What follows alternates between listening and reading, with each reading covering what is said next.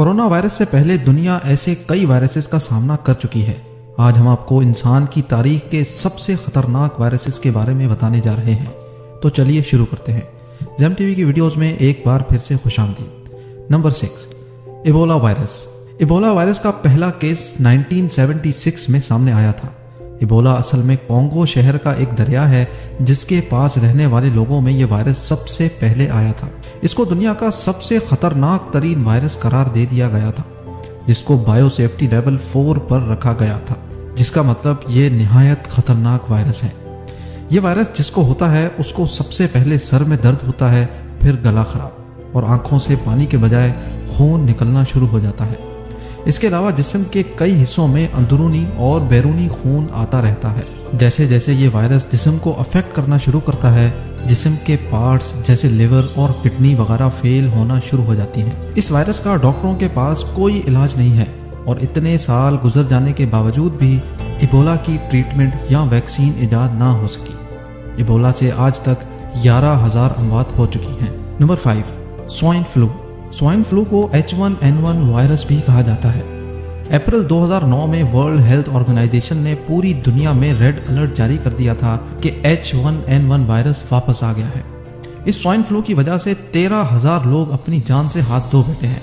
ये वायरस सबसे पहले 1918 में आया था। उस वक्त ये वायरस स्पेनिश फ्लू के नाम से जाना जाता था। ये वायरस पिग्स में पाया जाता है। काफ़ी ममालिक में लोग ये जानवर खाते हैं। इस वजह से ये वायरस इंसानों में भी आ गया था। इस वायरस से जो मुतासर होता है, इसको खांसी के साथ साथ आँखें लाल हो जाती हैं और पूरे जिस्म पर अचानक खारिश होना शुरू हो जाती है। साइंस डेली की रिपोर्ट के मुताबिक इस वायरस ने तकरीबन 500 मिलियन लोगों को अफेक्ट किया था।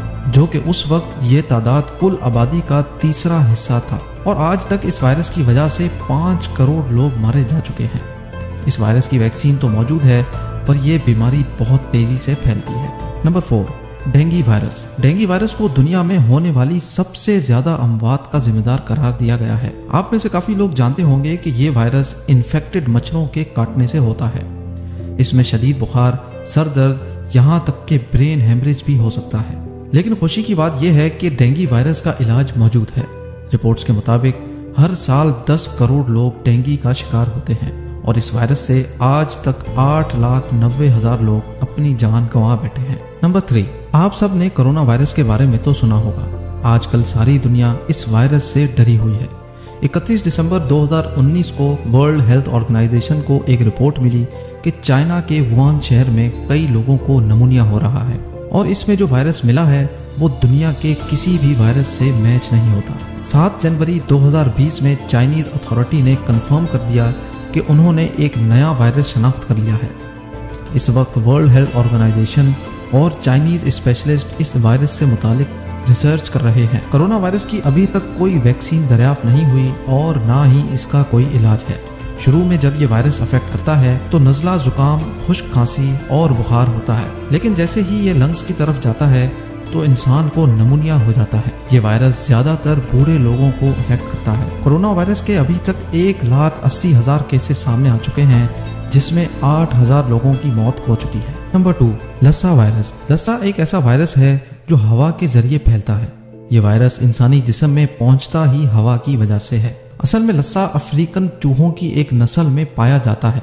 जब चूहा खाना खाकर वेस्ट बाहर निकालता है तो इसके वेस्ट के करीब हवा में यह वायरस दाखिल हो जाता है, जिसकी वजह से अगर कोई शख्स इस गंदगी के करीब सांस लेगा तो ये इसमें दाखिल हो जाएगा।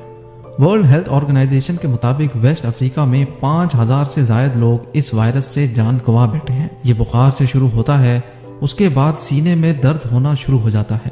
इसके अलावा सर में दर्द और चेहरा भी सूज जाता है।